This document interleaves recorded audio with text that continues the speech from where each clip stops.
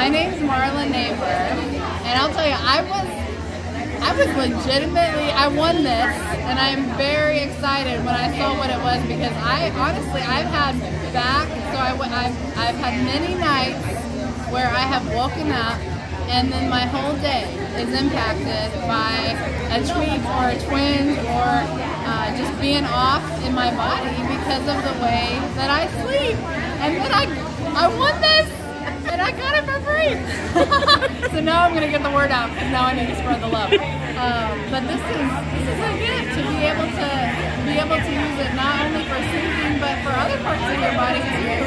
Um, to be able to wake up and not have to be thinking about that pain in my neck or my back all day long, just kind of stealing my joy all day. So, puzzle pillow.